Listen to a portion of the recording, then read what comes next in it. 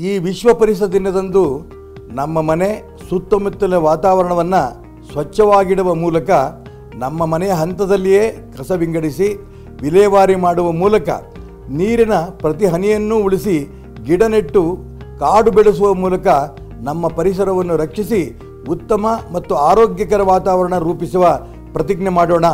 ನಾಡಿನ ಸರ್ವರಿಗೂ ಕೂಡ ವಿಶ್ವ ಪರಿಸರ ದಿನದ ಶುಭಾಶಯಗಳು. ಸ್ವಚ್ಛಮೇವ ಜಯತೆ.